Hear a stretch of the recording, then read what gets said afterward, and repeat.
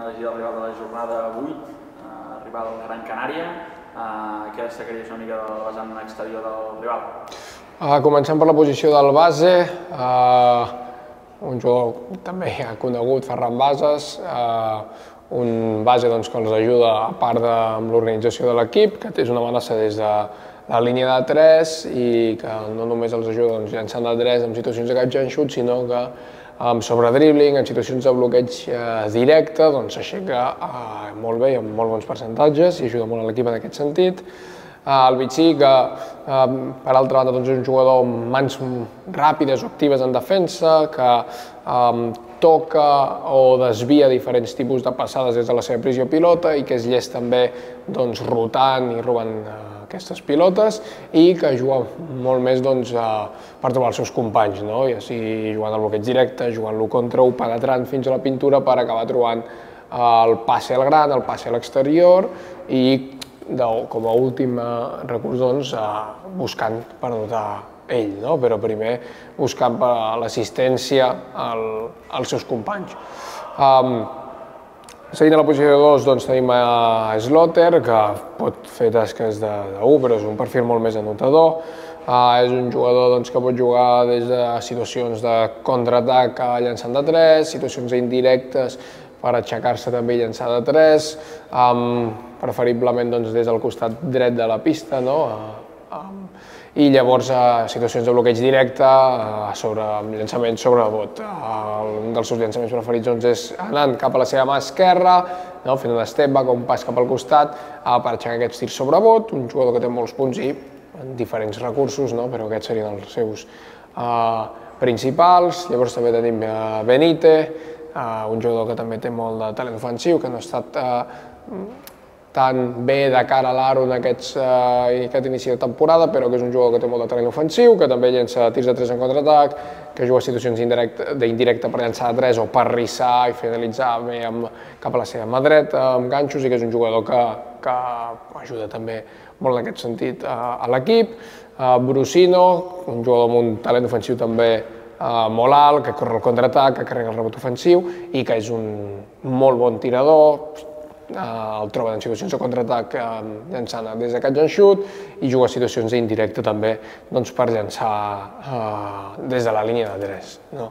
Uh, també Miquel Salvó, que és un jugador doncs, uh, molt complet, uh, d'aquests jugadors d'equip que sumen diferents aspectes, que està actiu, que corre el contraatac, que carrega el rebot ofensiu, que juga sense pilota amb talls per línia de fons, um,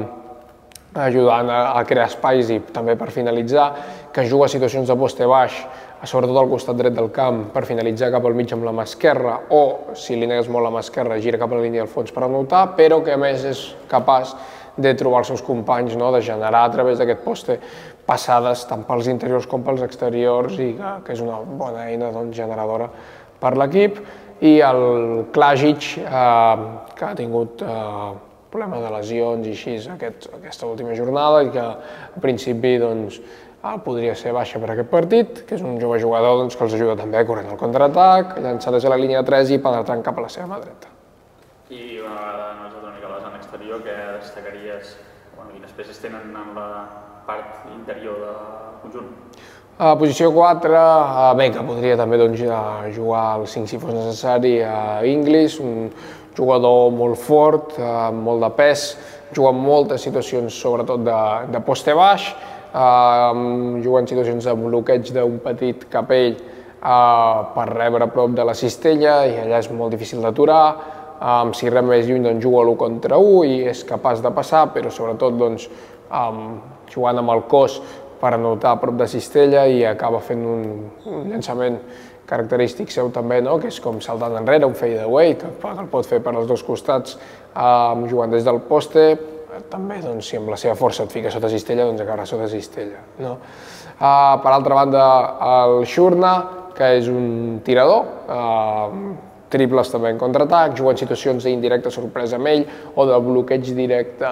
més pop uh, per trobar aquests llançaments, si et separes una mica doncs, Uh, ell carrega el tir de molt a dalt i molt ràpid amb aquest tir o aquesta mecànica de tir característica que té, però molt efectiva i també, si no, doncs un jugador que tira molt bé tirs de mitja distància sobre bot, però que evidentment és un tirador i que els dona aquesta doncs, obertura uh, o espais o crea espais pels manejadors i si no, doncs anota aquestes situacions de catch and shoot. Al 5 tenim també el Balcerowski, un jugador molt,